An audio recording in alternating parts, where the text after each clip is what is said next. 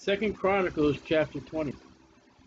And it came to pass after this, we just read, also that the children of Moab and the children of Ammon, those are Lot's of children, in relation to Israel.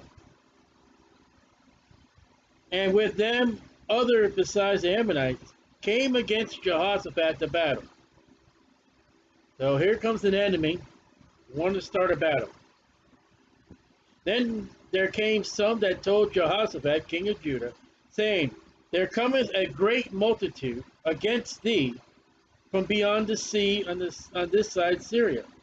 And behold, they be in Ezatama, which is in Gedad. And Jehoshaphat feared, I would too, and set himself to seek the Lord. There's the importance. You can have fear. I mean, listen. You know, you wake up, you smell smoke, you start seeing a, an orangey yellow kind of flickering on the wall, you're going to fear. I'd be praying to God as I call 911. You're going to fear when the doctor says, uh, I need you to come into my office. You need to be praying. I mean, we're not without fear. Fear is something in life. What do we do with that fear is what's in trouble, what gets us in trouble. We ought to turn to God. And proclaimed a fast throughout all Judah. No food, no water. We're serious. This is serious prayer time. And Judah gathered themselves together to ask help of the Lord. A nation revival in prayer, in fear, in fasting, to God help. Excellent. Even out of all the cities of Judah, they came to seek the Lord in unison, coming to God for God's help. And Jehoshaphat stood in the congregation of Judah and Jerusalem in the house of the Lord, there at the temple, before the new court. So all the congregations come to the temple where God's dwelling for the Jews are. And said, O Lord of our fathers, Abraham, Isaac, Jacob, 12 tribes, that's who he is. Art not thou God in heaven? He is and ruleth not over all the kingdoms of the of the heathen. He does. And uh, Satan is also in that power, but Satan's got the power to what God gives him. Satan turned to Jesus I'll give you all this if you bow down before me. And Jesus did not rebuke Satan. Remember, Satan's power is limited. God's power is unlimited. And in thy hand is there not power and might so that none is able to withstand it? He just had a battle with the Ethiopians a couple chapters ago. And that was a that was a wonderful victory for Israel. Art not thou our God, Israel? Judah, you know, talking about Israel, who didst drive out the inhabitants of the land before thy people Israel, Joshua, and gave it to the seed of Abraham, thy friend, forever. Look at him run to history. Look at him counting the many blessings of Israel, naming them one by one. That's what we ought to do. And when we got troubles and problems, we're like, oh, God, you're the one that you, you helped me in this situation. You gave me the victory in this situation. This over here, man, Lord God, you did wondrous. I got present day problems. Lord, as you helped then, help now. And gave it to thy seed, Abraham, thy friend, forever. Imagine being a friend of God. And they dwelt therein, and have built thee a sanctuary therein for thy name, saying, If when evil cometh upon us, as the sword, war, judgment, or pestilence, or famine, we stand before this house and in thy presence, for thy name is in this house. You find this back in chapter 6, verse 12 on, when Solomon is praying, dedicating the temple. He knows what Solomon said. He knows the prayer of Psalm that, hey, if we get in trouble, if we come to this house, we reach out to you, God, you're going to answer us. We're coming repenting.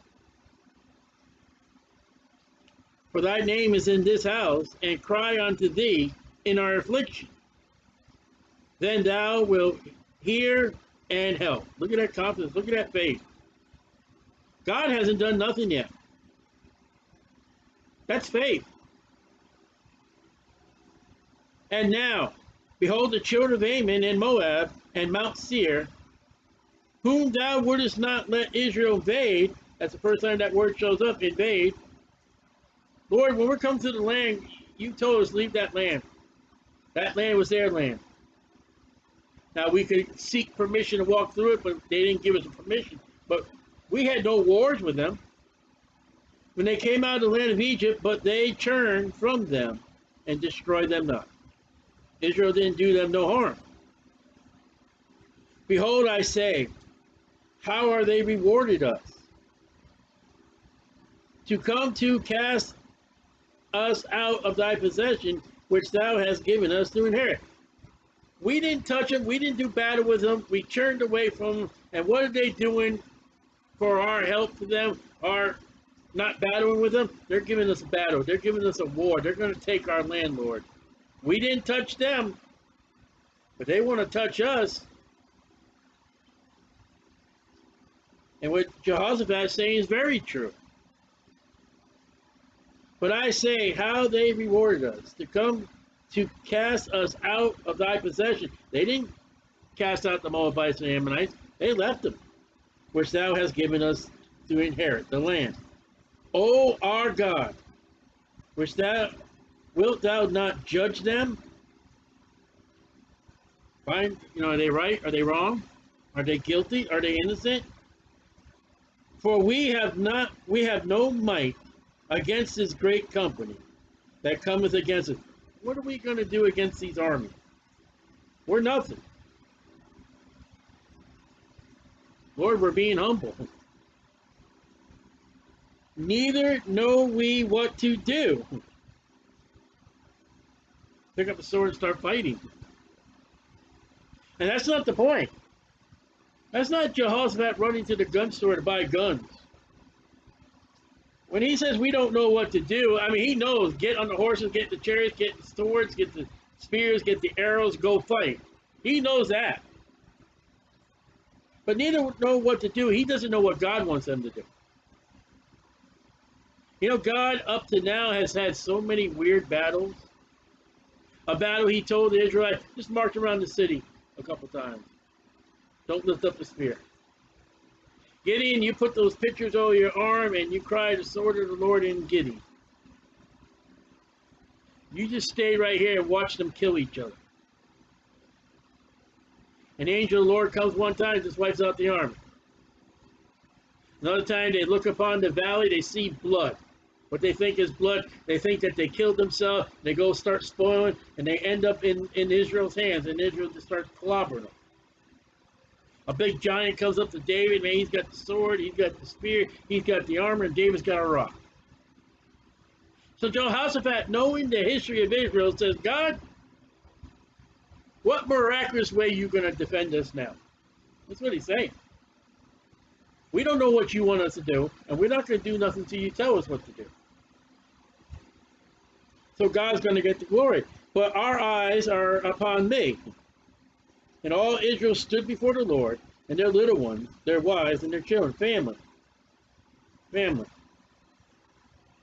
Then upon Jahaziel, the son of Zechariah, the son of Benaiah, the son of Jehu, the son of Mattaniah, make sure I know who this guy is, a Levite of the sons of Asaph, that's the singers.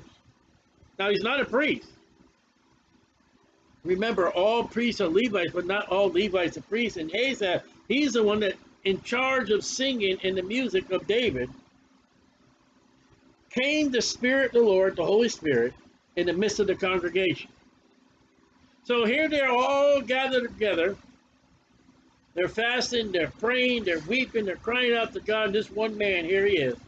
The Holy Spirit comes upon him. And he said, right in the midst of the crowd, Hearken ye all Judah, and ye inhabitants of Jerusalem, and thou King Jehoshaphat.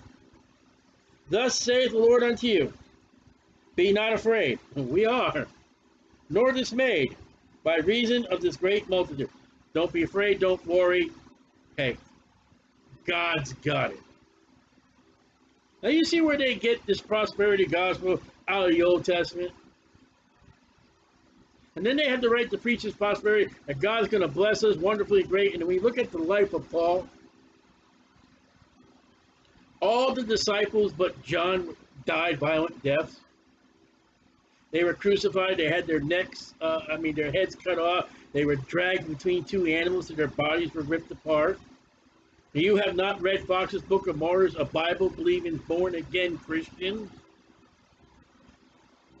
You got to rightly divide, if you don't rightly divide the Bible and studying, you're going to be made ashamed. And these people that preach this prosperity gospel, whether it's the judgment seat of Christ or the great white throne judgment, God is going to make them ashamed. When you see the prosperity, you say, you know, we're, God's going to fight for us. He's going to give us the victory. That's for the people that are under the law. That's the people of a nation. That's the people the Bible says that, that seek after a sign. By reason this great multitude, for the battle is not yours, but God's. There you go. I bet you that light in the faces. Tomorrow, go ye down against them. I thought you said the battle's not ours. You're going to have to still fight. But they come up, but behold, they come up by the cliff. That's the only place that word shows up. Cliff. Of Ziz. That's a weird name. Ziz. And you shall be you shall find them at the end of the brook before the wilderness of Jeruel. That El is God, Jehovah. Ye shall not need to fight in this battle. Get ready, go against the enemy but you're not going to fight. Boy, God does such great contradictions. You see, when you talk about the word, I ain't talking about the word. Jesus goes up to a man, his, his hand is lame, and says, stretch forth your hand. I can't. Stretch forth. Boing. You're going to conquer that city again. Just march around it. Gideon, here's your weapons again. A clay pot and a candle. You shall not need to fight in this battle. Set yourselves, stand ye still. Just stand there. God's doing it again with the children of Israel. Some kind of miraculous battle plan that would make people say, what? And see the salvation of the Lord with you. Now, what's this salvation we talk about? Believe on the Lord Jesus Christ and thou shalt be saved? Absolutely not. There are other salvations in the in the Bible besides salvation by the blood of Jesus Christ. This salvation is what? Don't worry about your enemies. You're not going to need to fight. I'll give you victory. That's that salvation. There it is. It comes from God. No man's going to have anything to do with it. It comes from God. O Judah and Jerusalem, fear not. Twice nor be dismayed twice. Tomorrow, go out against them twice, for the Lord will be with you. And Jehoshaphat bowed his head with his face to the ground, and all Judah and the inhabitants of Jerusalem fell before the Lord, worshiping the Lord. And the Levites of the children of the Kohathites, that's the family of, of the priests, Levites, they were in charge of carrying all the holies of holy stuff and of the children of the Korhites stood up to praise the Lord God Israel with a loud voice on high. The Kohites stood up and they're just thanking God with a loud voice. They rose up early in the morning and went forth unto the wilderness of Tekoa.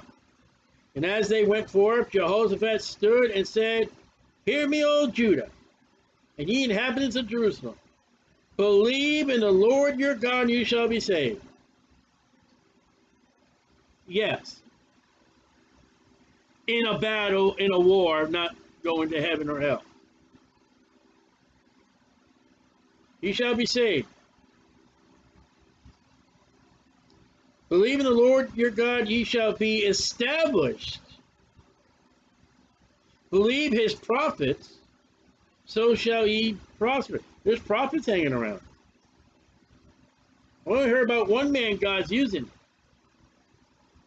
Men who are telling the future. They're telling what God can do for you. And when he had consulted with the people, he appointed singers going to battle. He gets the children of Asaph and those of Heman and says, Listen, I need your singers over here.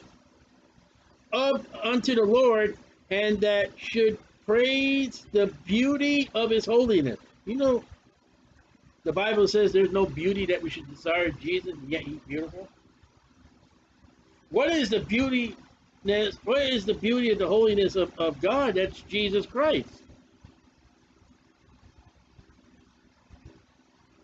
As they went out before the army, and to say, Peace, excuse me, praise the Lord, for his mercy endureth ever. You find that throughout the Psalms. So, these singers, look what it says about the singers. As they went out before the army, they're to sing about the beauty of the holiness of God. What did Jehoshaphat do? Those singers were put ahead of the army. You have this, the singers, they're praising and singing to God, and right behind them is the military men. Now that's weird. That's how much faith Jehoshaphat said. He's not putting the men with the spears up front. He's not putting the men with, with the sling stones. He's putting the singers, and they probably don't have no weapons. Some of them may be playing weapons. I mean, playing weapons. Maybe playing instru musical instruments themselves. The singers are in the leading group, and what their job is praising God. And when they had began to sing and praise, the Lord set an ambush against the children of Ammon.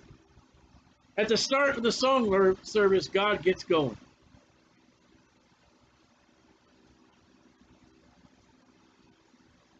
Against the children of Ammon, Moab, and Mount Seir, which were come against Ju Judah, and they were smitten. They're singing praises, Judah and Jerusalem, to God, and God smiting the enemy right before them. For the children of Ammon and Moab stood up against the inhabitants of Mount Seir. They're battling themselves again. That's a tactic that God's used before. Moab and Ammon start fighting with the children of Seir. Wait a minute.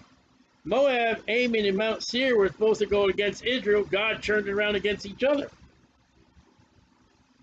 Utterly to slay and destroy them. When they had made an end of the inhabitants of Seir, they wiped out the entire people that were there of Mount Seir, Moab and Ammon. Thank you for helping us. We killed you. Everyone helped to destroy another. All right. Moab, Ammon are battling Mount Seir. They, they conquered Mount Seir. They, they wiped them out. Now they start turning Moab against Ammon. mass confusion here. What's Israel and Judah doing? Judah, I mean Israel, the children of God. What's Judah and Jerusalem doing? They're praising God, just standing there, watching God get the victory, and they're not lifting one finger. They may be even sitting there giggling, like, you see, they're killing their own people.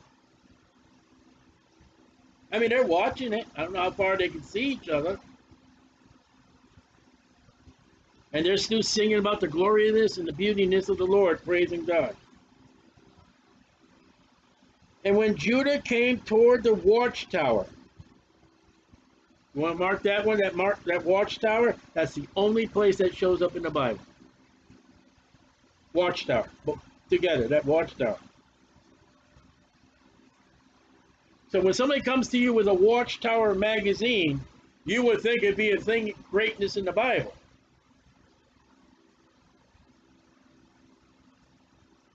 A battle of Ammon, Moab, and Mount Seir, and Israel does nothing. God's glory to the Jews.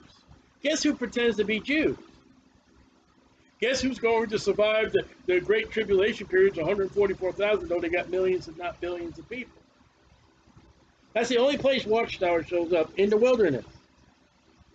They looked unto the multitude, and behold, there were there were dead bodies fallen to the earth, and none escaped. Judah and Jerusalem finally catches up to where, where this area is, and there's this dead body. That's it. There's no battle. Now, why would you set your word as your religion for that? What are you trying to What are you trying to tell me? You want me dead? And when Jehoshaphat and his people came to take away the spoil, you know, the guns, the money, whatever they had, of them, they found among them in abundance both riches with the dead bodies, gold, silver, precious jewels, which they stripped off themselves more than they could carry away. And they were three days gathering of the spoil, it was so much. This is how much these three armies were.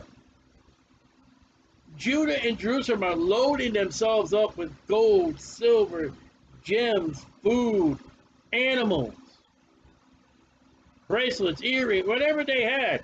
And it's taken three days to strip the slain.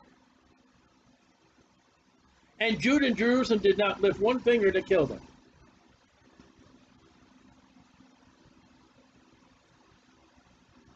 Kind of interesting to have your watchtower mention it. Is that what you want to do? You want to kill me and strip, strip me of all my goods? You think I'm a heathen? The doctrines I believe of the Bible and Jesus Christ goes against them. I'm their enemy. I'm not one of their 144,000. I guess you want to kill me and take my stuff. That's where Watchtower is. That's the story of the Watchtower, the only place it shows up. And on the fourth day, they assembled themselves in the valley of Berachah, for there they blessed the Lord. They made the Lord happy. That's what blessed means. Therefore, the name of the same place was called the Valley of Berachah unto this day. What's it mean? It means bless. Blessings. Lord, we're happy. God, you're happy. Why is God happy? Israel's okay and protected not one Israelite, I mean, all the children of Judah and, and Jerusalem, not one of them was killed. Why is God happy? Because Israel's happy and they're blessing God. Why is Israel happy? They won. Then they returned every man of Judah and, and Jerusalem, and Jehoshaphat in the forefront of them. Now look at that. You know who were in the forefront before? It was the singers. Jehoshaphat has marched in front of the people. He is leading the, the, the, the men of the military and the musicians. He's leading them back to Jerusalem say, glory to God in the highest. And I guarantee the singers are still singing. To go to Jerusalem with joy, for the Lord had made them to rejoice over their enemy, dead enemies. They came to Jerusalem with psalteries and harps, so they're still singing, and trumpets unto the house of the Lord. They go, they don't go home, they go right to the house of the Lord to praise the Lord. And the fear of God was on all kingdoms of those countries, which they had heard that the Lord fought against the enemies of Israel. This news got around. You didn't need cable television. You didn't need a newspaper press. You didn't the word got around. Did you just hear what the what the Jewish God did for them? These three groups of men went against Israel, and God, their God, had them kill each other, and all the children of God had to do was just go take all the spoil. Let's go get them. Uh-uh, I ain't touching them. So that victory of God, that victory of the children of Israel, of, of Judah and Jerusalem, got out. Uh, now the people around Judah and Jerusalem are fearing God, but not Israel north. Israel North never got right. We'll see that in a moment. And the fear of God was on all the kingdoms of those countries when they had heard that the Lord fought against the enemies of, of Israel.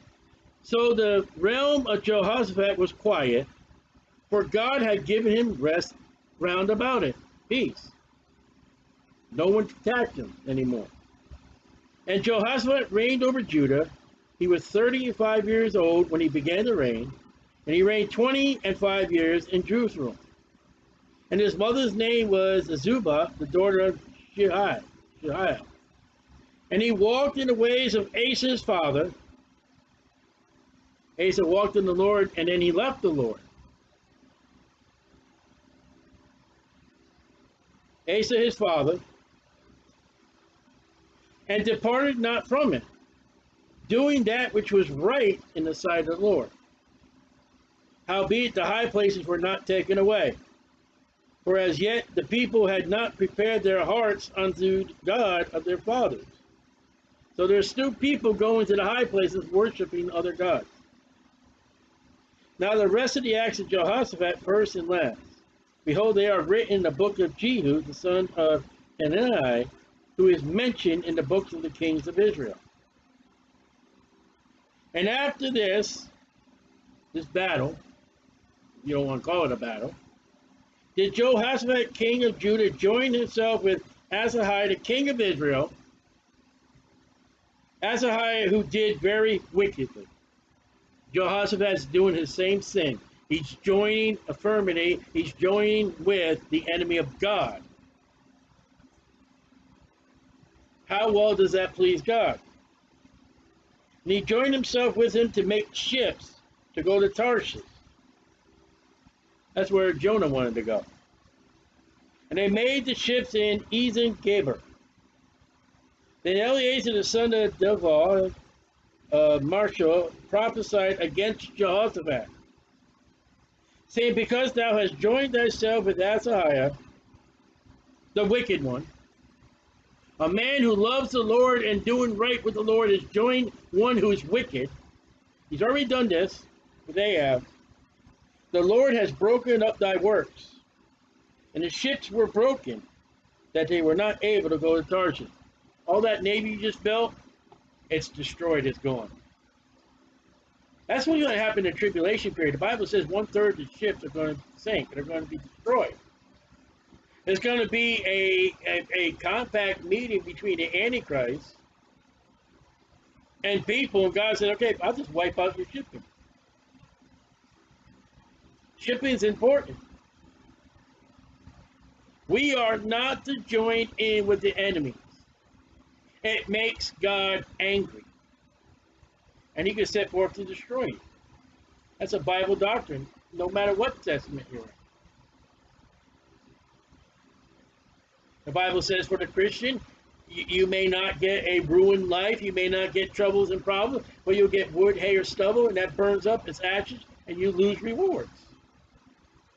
Hebrews says that God, as our Father, can punish us, chastise us if we do wrong. Lesson is to do right, know what's right.